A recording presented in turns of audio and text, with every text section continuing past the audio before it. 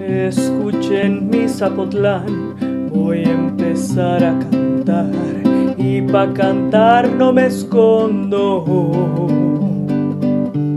Señores, aquí les canto, señoras, aquí les cuento del candidato Elizondo.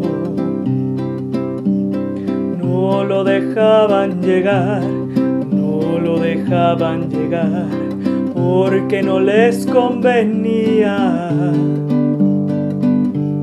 porque no les va a dar chance, porque no les va a dar moche, su hueso se les termina. Es el mejor candidato, es el mejor candidato, porque es honrado y valiente, porque habla con la verdad, porque habla con la verdad inspira confianza en la gente. Por eso quiero que gane, por eso quiero que llegue y que haga un gobierno honesto. Hay que poner el ejemplo y como aquí mando yo, quiero el Elizondo en el puesto